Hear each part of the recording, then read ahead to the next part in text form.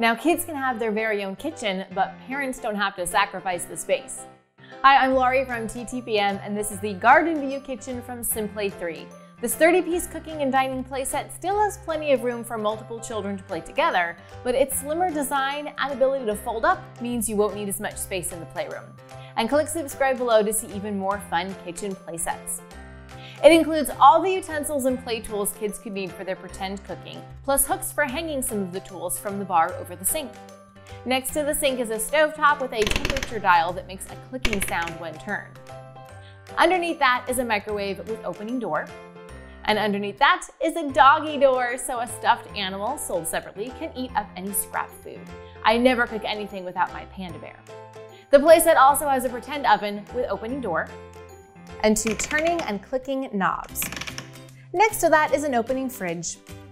With the two side panels extended, there's space for kids to pretend to chop vegetables or barbecue on the grill. Sticker decals of a fireplace and an herb garden add to the pretend play. There's a shelf on the other side of the playset that can serve as a small table where kids can eat, and kids can pretend to serve up food from the kitchen and pass it through the large window to the table outside. Adult assembly is required and you will need a Phillips head screwdriver. It took us 25 minutes to do and some of the steps were difficult. But once it's set up, it's a great space for kids ages 2 and up to play. There are no bells and whistles and I love that. That really lets kids guide the play. You will need to provide your own play food pieces, but there's still plenty here to inspire kids' imaginations. I love the cozy cottage style of the kitchen. And did you see that farm style sink? Yes, please. Which of these kitchen features do you wish you had in your own kitchen? Tell me in the comments. The pros of this are the imaginative play possibilities for kids and the smaller footprint for parents. The only con was the difficulty we had during assembly, but I give this four stars.